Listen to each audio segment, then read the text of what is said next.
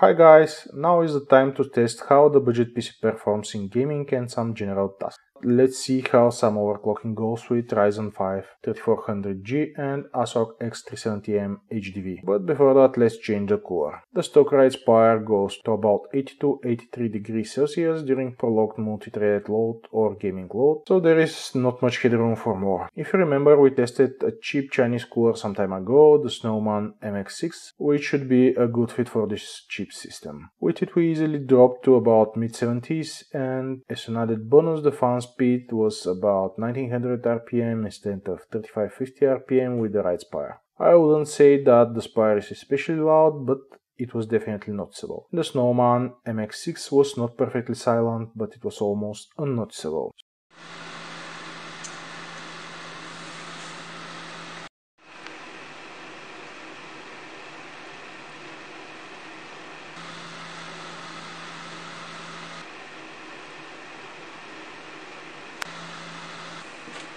So after battling the peculiarities of the board for a day, the result was CPU core clock of 4.1 GHz with a very high 1.45 volts and a 1600 MHz iGPU speed with minimal bump to 1.125 volts from the default 1.1 volts. The RAM managed DDR4 3400 CL16 on default 1.35 volts due to limitation of the memory controller. But enough of that, let's see the results.